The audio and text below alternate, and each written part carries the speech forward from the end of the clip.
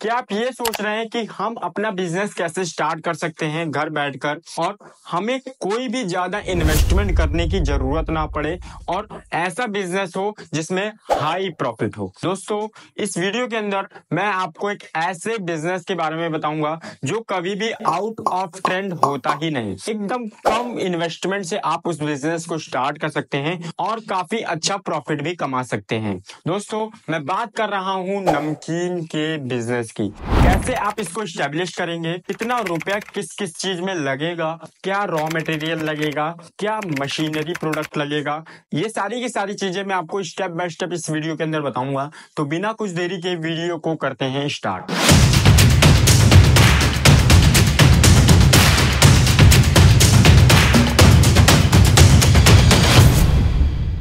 मैं हर बिज़नेस में कहता हूँ कि आप लीन स्टार्टअप अप्रोच का इस्तेमाल करें। लीन स्टार्टअप अप्रोच का मतलब ये होता है कि आप हमेशा कम इन्वेंट्री में स्टार्ट करें और ग्रेजुअली स्केल करें। ग्रेजुअली स्केल मतलब धीरे धीरे स्केल करें। धीरे धीरे अपने बिज़नेस को बढ़ाएँ। इससे क्या होता है? इससे आपका रिस्क कम होता है। अगर आप कम पैसे में अपना बिज़नेस सेटअप कर लेते हैं तो उसमें आपका रिस्क कम रहता है। नंबर वन टिप्स है, मैं आपको बताने जा रहा हूँ कि आप बिज़नेस स्टार्ट करने से पहले मार्केट रिसर्च करें। मार्केट रिसर्च में आपको क्या क्या चीज़ें ध्यान रखनी है? पहले अपनी टारगेट ऑडियंस को समझे कि आपकी टारगेट ऑडियंस क्या है। वैसे नमकीन तो हर कोई खाता है। बच्चे भी खाते हैं, ओल्ड एज वाले भी खाते हैं, यंग एज वाले भी खाते हैं, मैन भी खाते हैं, वुमेन भी खाते हैं। हर एक इंसान नमकीन खाता है। मगर कुछ कुछ ऐसे भी नमकीन होते हैं जो हेल्थ कॉन्शियस होते हैं। तो क्या आप नॉर्मली सभी के लिए नमकीन बेचना चाह रहे हो? या आप हेल्थ कॉन्शियस लोगों के लिए नमकीन बेचना चाह रहे हो। ये आपकी टारगेट ऑडियंस डिसाइड होनी चाहिए। नंबर टू चीज़, आप मार्केट रिसर्च में ये देखो, जिस मार्केट में अपने प्रोडक्ट को बेचना चाह रहे हो, वहाँ पे लोगों की पसंद क्या है? लोग किस चीज़ की डिमांड करते हैं? कौन सी नमकीन सबसे ज़्यादा बिकती है उस मार्केट के अंदर? थर्ड चीज़ मार्केट रिसर्च में आपको ये करना है दोस्तों कि आप अपने कॉम्पिटिटर को एनालाइज करो। आपका कॉम्पिटिटर क्या चीज़ दे रहा है, उसकी प्राइस क्या है, ये चीज़ जानने की कोशिश करो। फिर उसके बाद दोस्तों प्रोडक्ट सेलेक्शन करो। प्रोडक्ट सिलेक्शन में कितनी वैरायटी की नमकीन बेचना चाह रहे हो? मेरा सजेशन लो तो दोस्तों आप कम नमकीन से स्टार्ट करो। कम यानी कि एक या दो, तीन, इससे ज़्यादा मत करो। इससे ज़्यादा करोगे तो और इन्वेस्टमेंट बढ़ेगा। मार्केट रिसर्च हो गई। सेकंड चीज़ आती है दोस्तों लो कॉस्ट प्रोडक्शन सेटअप आप शुरुआत में घर से स्टार्ट करो। कोई आपको प्रोडक्शन हाउस खोलने की ज़रूरत नहीं है। आप सेकंड हैंड चीज़ें लेके आओ। सेकंड हैंड चीज़ें लेके आओगे तो उसमें आपका कम इन्वेस्टमेंट लगेगा। से आप ऐसे नमकीन वालों से बात कर सकते हो जिनका नमकीन का बिज़नेस बंद हो चुका है और वो अपना जितना भी प्रोडक्शन का सेटअप है वो बेच रहे हैं। थर्ड चीज़ आती है दोस्तों रॉ मटेरियल अगर आप बल्क में रॉ मटेरियल लोगे तो आपको वो सस्ते दामों में पड़ेगा और आपकी इन्वेस्टमेंट भी कम लगेगी। फोर्थ चीज़ आती है दोस्तों लीगल रजिस्ट्रेशन देखिए लीगल रजिस्ट्रेशन में आपको तीन लाइसेंस की ज़रूरत है।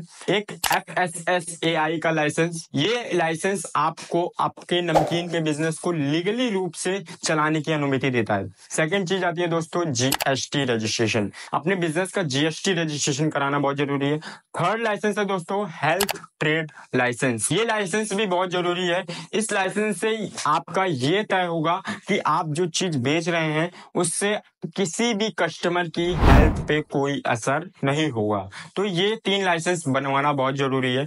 तीन लाइसेंस बनवाने के बाद दोस्तों फिफ्थ चीज़ आती है आपका ब्रांडिंग एंड पैकेजिंग देखिए दोस्तों, आप स्टार्टिंग में एकदम सिंपल और इफ़ेक्टिव पैकेजिंग का इस्तेमाल कर सकते हैं। पैकेजिंग करने के लिए दोस्तों, आप पेपर बैग और प्लास्टिक पाउच में पैकिंग कर सकते हैं। स्टार्टिंग में देखिए, आपको कोई भी ज़्यादा इन्वेस्टमेंट करने की ज़रूरत नहीं है। स्टार्टिंग में आपका एकदम कम से कम बजट में आपका बिज़नेस स्टार्ट हो जाए, पैसे आने लगे, फिर उसके बाद धीरे धीरे आप अपनी नई नई चीज़ों को इंक्लूड करते रहिए। सिक्स चीज़ आती है दोस्तों मार्केटिंग मार्केटिंग करना बहुत ज़रूरी है आपके बिज़नेस का। अगर आपने बिज़नेस स्टार्ट करा है, मार्केटिंग नहीं करी तो आपके बिज़नेस के बारे में कोई नहीं जानेगा। मार्केटिंग करने के लिए आप सबसे पहले आप सोशल मीडिया पे पेज बना लो। आजकल ज़्यादातर लोग कहाँ मिलेंगे आपको? सोशल मीडिया पे। तो सोशल मीडिया का ही इस्तेमाल करके अपने बिज़नेस को एक्सपेंड करना है। इंस्टाग्राम पे आप पोस्ट डाल सकते हैं, फेसबुक पे आप पोस्ट डाल सकते हैं। और वहाँ से हो सके तो ऑर्डर निकालना स्टार्ट करिए। नेक्स्ट चीज़ आती है कि आप अपने प्रोडक्ट की सैंपलिंग कर सकते हैं। लोकल मार्केट में लोगों को फ्री में सैंपल देना स्टार्ट करिए। उससे क्या मिलेगा? उससे आपको फीडबैक मिलेगा और आपकी सेल्स में भी ग्रोथ होगी। एंड दोस्तों नेक्स्ट चीज़ आती है आपकी सेल्स तो नमकीन बिकने के लिए सबसे पहले आपको अपने रिटेलर से कॉन्टेक्ट करना है। आपके आसपास रिटेलर होंगे और भी कई जगह रिटेलर होंगे, बहुत जगह रिटेलर होंगे। सप्लायर होते हैं। थर्ड चीज़, आप डायरेक्टली कस्टमर को अप्रोच करो। डायरेक्टली कस्टमर बनाने के लिए सिंपल सी चीज़ आपको मैं बता देता हूँ। आप ई कॉमर्स पे आ जाओ। यानी कि आप फ्लिपकार्ट मीशो अमेजोन पे आ जाओ, वहाँ पे आप अपने प्रोडक्ट को सेल करो। आप रजिस्ट्रेशन करो, उसके लिए आपका जीएसटी लगेगा और आपका एक फ़ूड लाइसेंस लगेगा। वहाँ पे आपने अगर रजिस्ट्रेशन कर लिया रजिस्ट्रेशन करने के बाद आप अपने प्रोडक्ट को अपलोड करो। ई कॉमर्स से आपको डायरेक्टली कस्टमर मिलेंगे। दूसरा सोर्स आपको बिल्ड करना है दोस्तों लोकल मार्केट से। आप खुद जाकर के लोगों को बेचो एंड थर्ड सोर्स आपको क्रिएट करना है दोस्तों सोशल मीडिया प्लेटफॉर्म से। दोस्तों अब हम समझते हैं कि आपकी इन्वेस्टमेंट कितनी लगी। आपकी इन्वेस्टमेंट गई मशीनरी में, बर्तन में भट्टी खरीदने में एंड नेक्स्ट आपका रॉ मटेरियल में। थर्ड चीज़, आपकी मार्केटिंग में इन्वेस्टमेंट खर्च हुआ। फोर्थ चीज़, आपका लीगल डॉक्यूमेंट बनवाने में आपका इन्वेस्टमेंट हुआ। फिफ्थ चीज़, आपकी यूटिलिटीज में खर्च हुआ। यूटिलिटीज यानी कि बिजली, पानी एंड दोस्तों नेक्स्ट चीज़, आपकी पैकेजिंग में आपका इन्वेस्टमेंट गया। मैं आपकी अगर टोटली इन्वेस्टमेंट बता दूँ तो आपकी टोटली इन्वेस्टमेंट है दोस्तों साठ हज़ार से अस्सी हज़ार के बीच में। अगर आप अपने प्रोडक्ट की लिस्ट बढ़ा देते हैं तो आपकी इन्वेस्टमेंट बढ़ेगी। तो सिंपली चीज़, आप कम प्रोडक्ट की लिस्ट से स्टार्ट करें। कम प्रोडक्ट की लिस्ट से स्टार्ट करेंगे तो आपकी कम इन्वेस्टमेंट लगेगी। अगर आप चाहते हैं कि मैं मैन्युफैक्चरिंग नहीं करना चाहता तो सिंपली उसके लिए भी मैं आपको और अच्छा आइडिया बता सकता हूँ। सबसे पहली चीज़, आप अपने नमकीन को होलसेल रेट पे खरीदें। होलसेल रेट पे खरीदेंगे तो आपको कम रेट में मिलेगा नमकीन। सेकंड चीज़, आप लीगल डॉक्यूमेंट बनवाए। थर्ड चीज़, आपको फ्लिपकार्ट अमेजोन मीशो पे रजिस्ट्रेशन करना है। उस नमकीन को अपलोड करना है। एंड फोर्थ चीज़, आपको अपनी पैकेजिंग पे ध्यान देना है। पैकेजिंग बहुत ज़रूरी है। पैकेजिंग जितनी बेटर करेंगे, उससे आपके कस्टमर इंट्रैक्ट होंगे। आप अपने सोशल मीडिया पे पेज बना लें। सोशल मीडिया पेज बनाने के बाद आपको सिंपली वहाँ पे भी अपने नमकीन को अपलोड कर देना है। नमकीन अपलोड करेंगे, वहाँ से भी आपको ऑर्डर मिलेंगे एंड ई कॉमर्स से भी आपको ऑर्डर मिलेंगे। तो सिंपली आपने कोई भी मैन्युफैक्चरिंग नहीं खोली।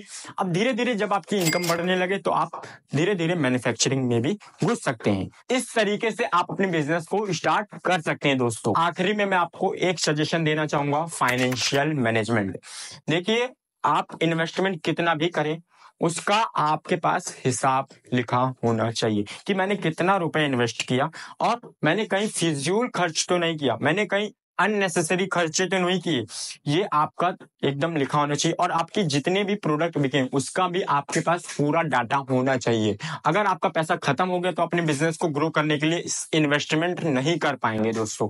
तो सिंपली चीज़, आपने कितना रुपए खर्च किया, कितना रुपए आपको प्रॉफिट मिला, कितना रुपए मैंने अननेसेसरी खर्च किया।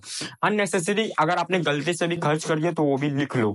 अगर आप चाहते हो कि मैं कोई ऐसा बिज़नेस आइडिया बताऊँ जो आपको पसंद आए तो कमेंट सेक्शन में कमेंट करें।